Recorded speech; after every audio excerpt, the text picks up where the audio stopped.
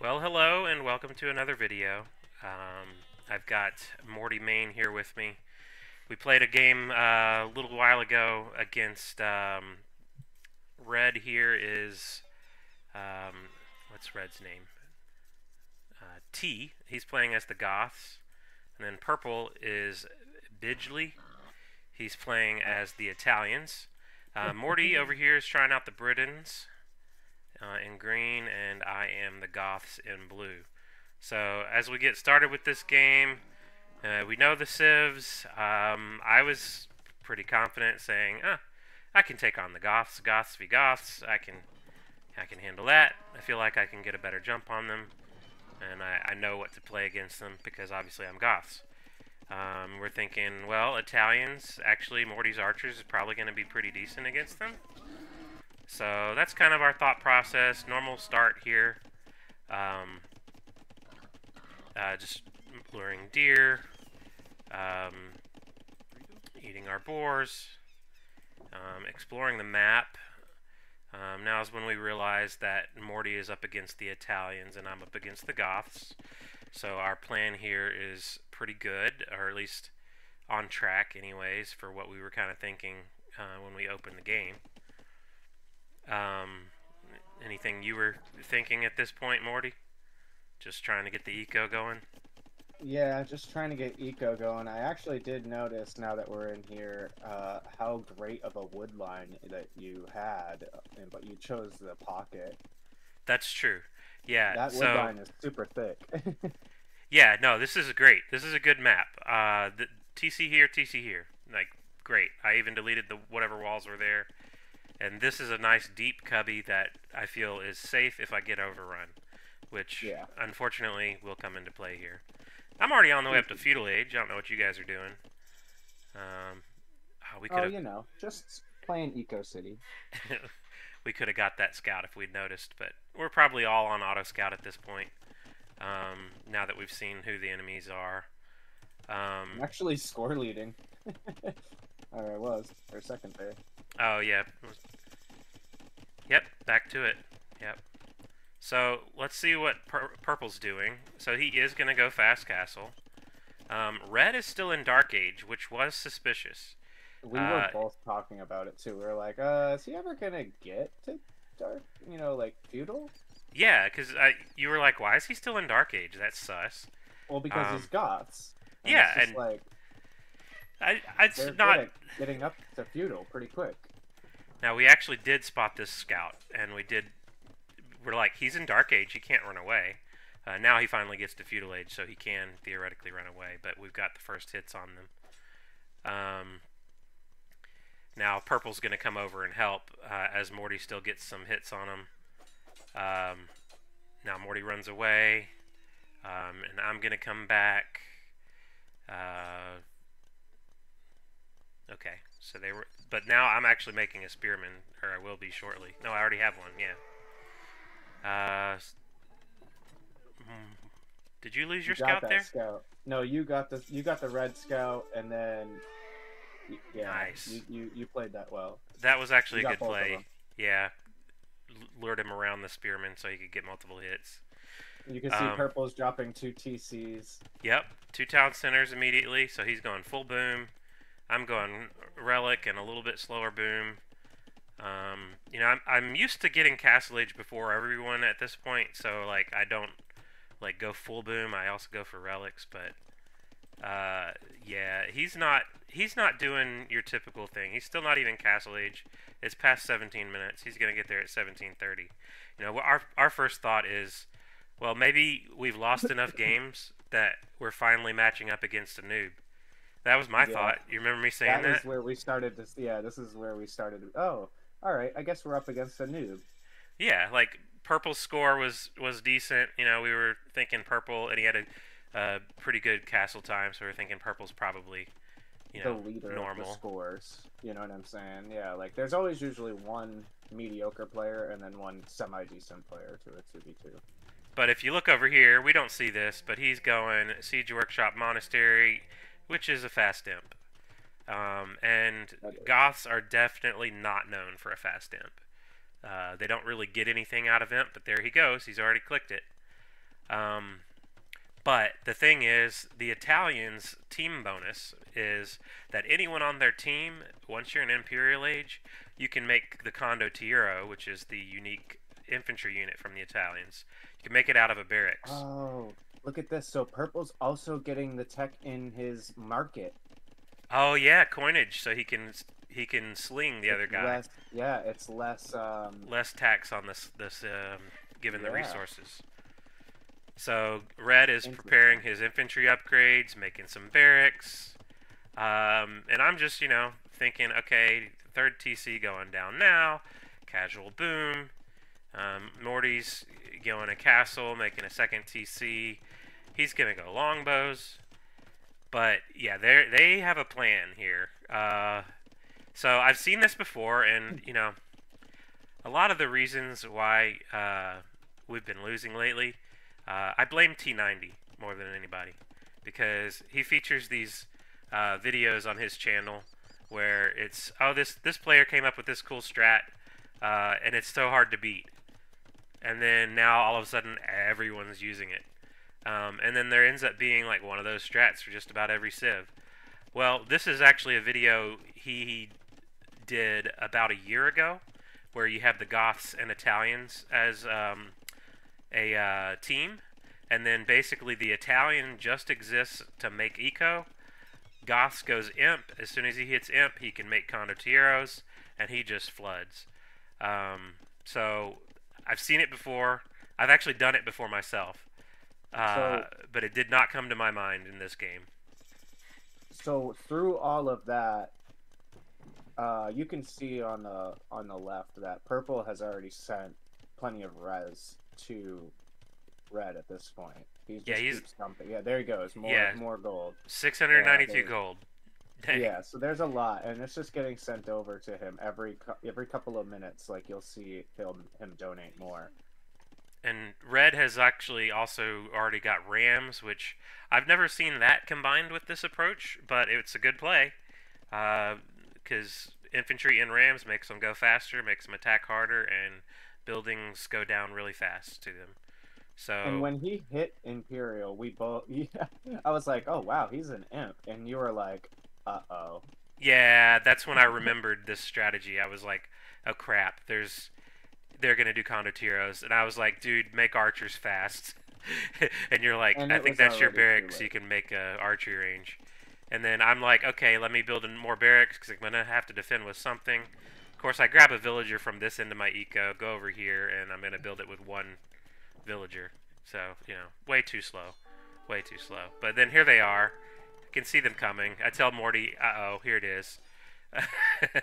um, there's not really any stopping this. Um, he's just going to go right for the gate.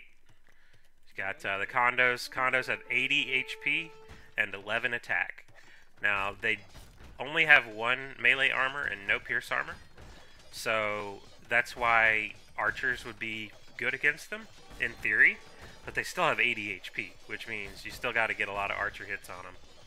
Um, I made this house just to temporarily delay him. I know it's not going to last very long, but I'm trying to get some infantry out. I just got the man-at-arms and longswords upgrades. I'm trying to make some more barracks around my eco to try to try to get some units out on the field to defend against this. But uh, this is this is going to end quick. Now, do you think that those would have died to cavalry? um, Like if you went knight? I think, well, knights might have more attack uh, than archers, so maybe it would have helped. But archers, so long as you can like stay ahead of them and like attack them from range, and plus they've got zero HP. I mean zero um, pierce armor. Oh my goodness, he just unloaded the rams and it was just a slaughter there. Yeah, he's taking out all the vills, going for the TC, and look at this. Dude slung him enough stone to build a castle.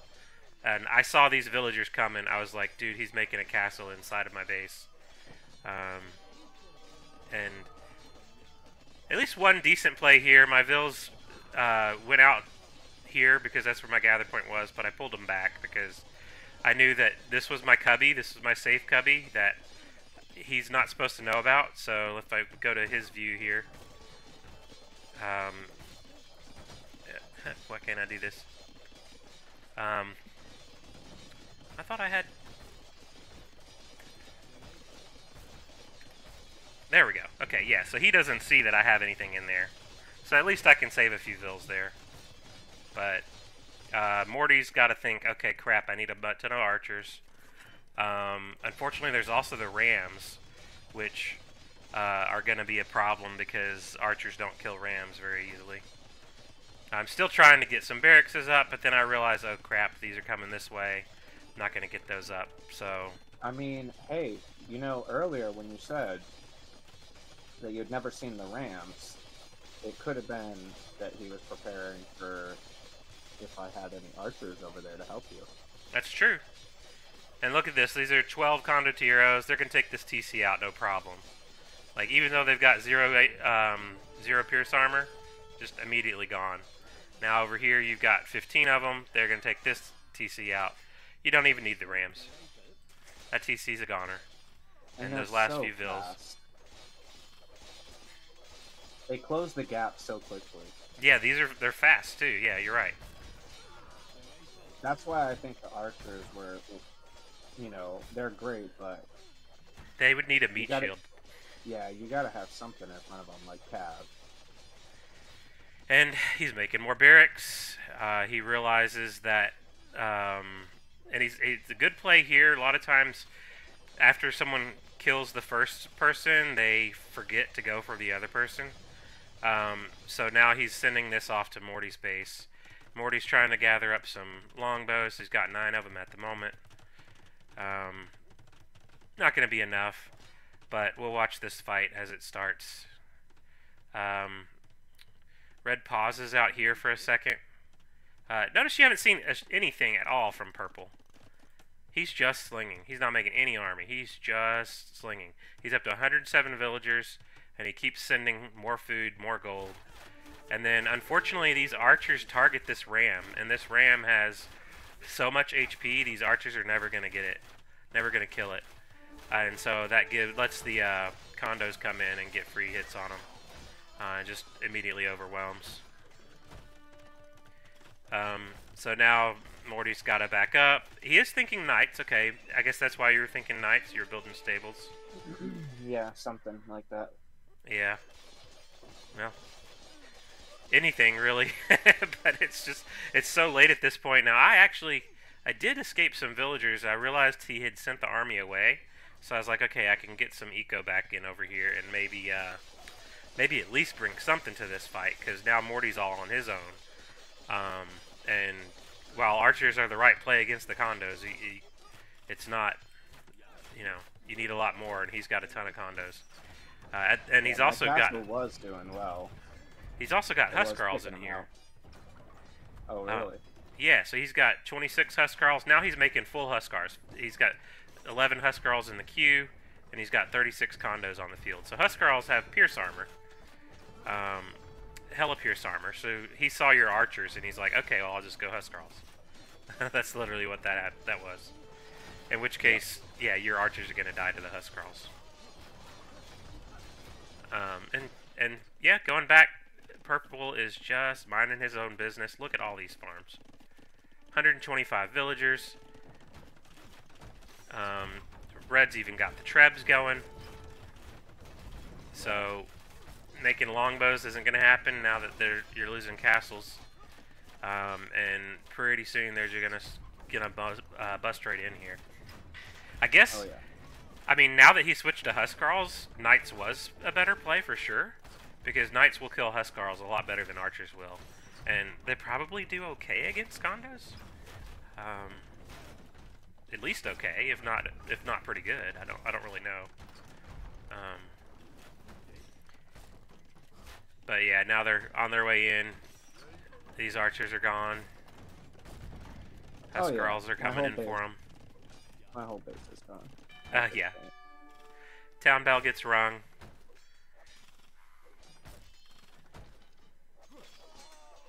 And this TC's gonna go down real quick. yeah. He flooded everything. So at this point, he's got 60, uh, almost 70 military. He's not even got some pikemen in there, so he's got more than 80 military. Um, and we've got absolutely nothing. So, uh, honestly, really good play. I even told them at the end, nice play. Uh, we just did not see it coming and had no way to defend against it. Um, unfortunately, with all the all-in plays these days, it makes it really hard to be defensive because if you um, try to play like a normal game, get some eco, make some army eventually, and um, by the time you do that, someone's already like spent all their eco on making a massive military, and it just comes steamrolling you. Um, sure, you can defend against those types of strategies, but you have to see it coming, and you have to know how to defend it. And because there's like 40 civs in the game, there's so many different strategies that could be used against you. It's hard to know how to defend the Bohemian wagons and the Portuguese organs and Spanish conquistadors and um, literally all these different all-in strategies. Um, and in this one, on top of that, uh, honestly, just really well executed. uh, we'll take a look at the stats real quick. Um, I mean, it was a slaughter, obviously. Uh, 113 kills, uh, 44 buildings raised. We didn't kill shit. Um, 88 army high, so almost 90 army there. Uh, and if you look at the villager count, um, actually, uh, where's, where's the villager count? Uh, villager max. So red was actually the lowest on villagers, 56. So, I mean, what does he need villagers for? Purple slinging him. Purple, 138 villagers. Um, and then he sent him, uh, he sent 14,897 resources. Of that, 12,000 made it over there. So there's a little bit of tax there. Um, but that's a good eye spotting that he got the uh, the coinage tech to reduce that tax a little bit. So they they were planning this from the beginning. These guys know each other, or yeah, at least definitely. they agreed on the strat. no, they uh, definitely know each other. That was coordinated. Pretty good time for purple, and then he just went straight eco.